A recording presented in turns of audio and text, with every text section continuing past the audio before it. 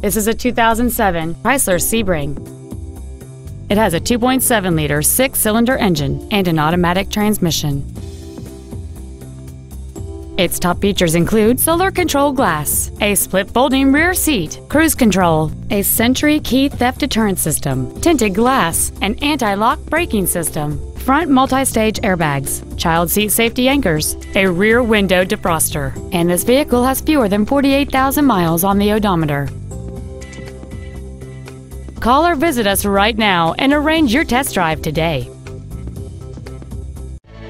Phil Long Used Cars is located at 1510 Auto Mall Loop in Colorado Springs. Our goal is to exceed all of your expectations to ensure that you'll return for future visits.